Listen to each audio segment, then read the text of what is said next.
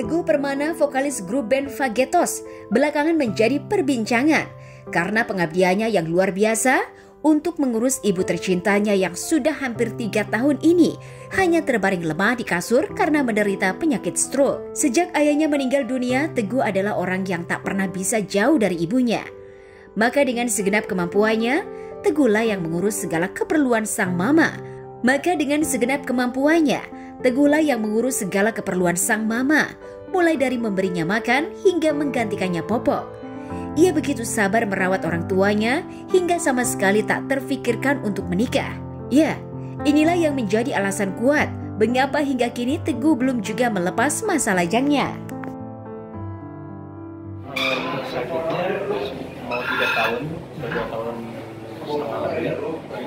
Uh, Iya memang uh, selama itu saya terbalik memang kayak mungkin pempes segala macam. Memang sama saya.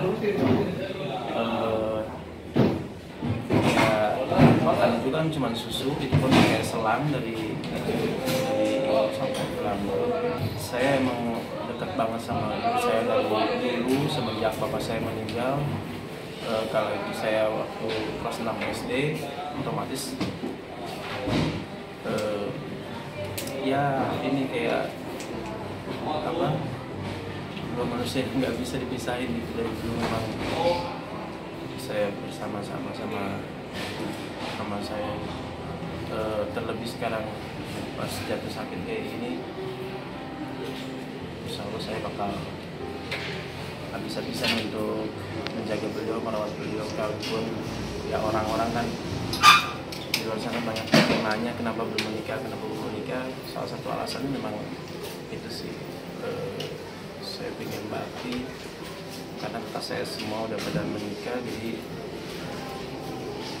dengan kondisi kayak sekarang ini harus ada nih salah satu dari anaknya yang benar-benar bisa full time gitu. Menjaga insya Allah saya sih siap tapi lagi yang tahu kondisi ibu saya cuma saya mungkin yang paling dekat waktu itu ibu saya udah mulai sebelum sakit terbaring udah mulai kayak ngerasa kesepian di rumahnya.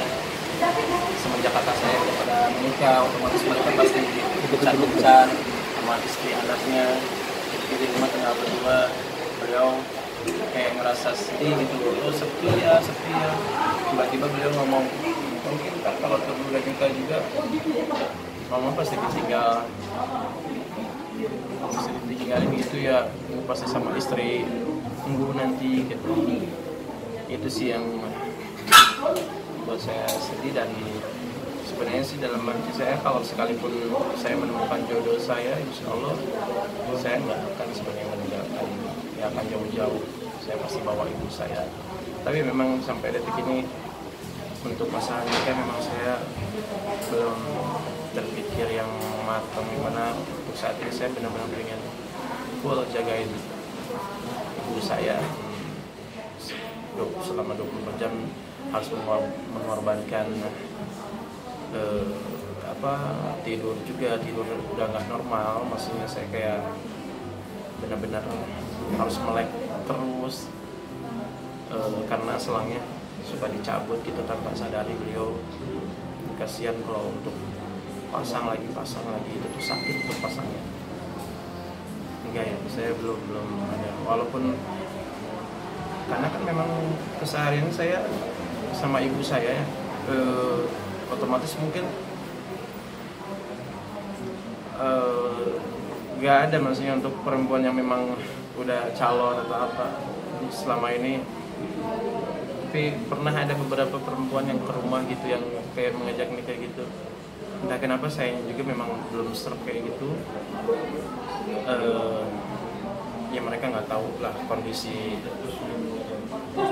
keadaan saya sama mama saya bagaimana benar-benar ada. yang bisa bergerak atau seperti apa? Nah, kalau yang kanan alhamdulillah sih masih bisa kayak garuk gini walaupun pelan gitu udah uh, uh, bisa. Cuman yang lain memang udah lemah Cuma tangan kanan aja yang bergerak. Uh, tapi kira-kira itu ya. Maksudnya cuman kayak pelan gini doang gitu alhamdulillah sih. Tapi kalau dari ibu sendiri, dulu saya belum sempat dengar itu. Kalau dulu saya mendengar itu mungkin saya pasti udah buru-buru menikah ya. Cuman makanya itu dulu tuh mama saya namanya udah sepuh udah mulai kadang lupa kadang ingat lagi. Itu yang saya udah wanti-wanti udah khawatir gitu dengan keadaannya wah ini saya benar-benar harus jaga beliau kayak pakai baju aja. Kadang kebalik saya saya benerin. Jadi tiap eh, saat itu tiap pakai baju segala macam saya yang dandanin segala macam. Dan saat itu pula pernah ngomong gini makanya "Eh, sepi ya di rumah sepi entah kalau lu udah nikah pun berarti mama kali tinggal sendiri makin sepi lagi gitu. Itu sih yang membuat kalau pengobatan kita selain kita pernah beberapa rumah sakit kita pernah juga ke di Jakarta di RSPAD dulu dengan ditangani sama dokter terawan untuk kayak metode DSA kayak gitu yang kita tahu tuh dulu itu emang canggih. Eh, dan banyak yang berhasil alhamdulillah. Tapi memang ya ibu saya masih begitu belum ini. Ya namanya juga yang se- sebenarnya sih pada hakikatnya Allah kan yang masih izin untuk sembuh atau enggaknya. Kita sebagai manusia cuma bisa berikhtiar aja. Yang pasti kita udah coba ikhtiar untuk itu sebisa kita dan kayak pengobatan alternatif lainnya entah itu fisioterapi mendatangkan ke rumah udah berbagai macam. Udah untuk saat ini sih jujur eh, saya berhenti dulu untuk itu kayak obat-obatan nggak dulu stop dulu karena mengingat kondisinya ya yang memang badannya nggak seperti dulu udah mulai mengurus lagi. Jadi hanya ini aja mungkin kayak eh, ada suster kadang rutin ke rumah sambil pasang selang baru itu ngecek kayak tensi darahnya terus detak apalah segala macam itu. Terus kadang cek lab diambil darah. gitu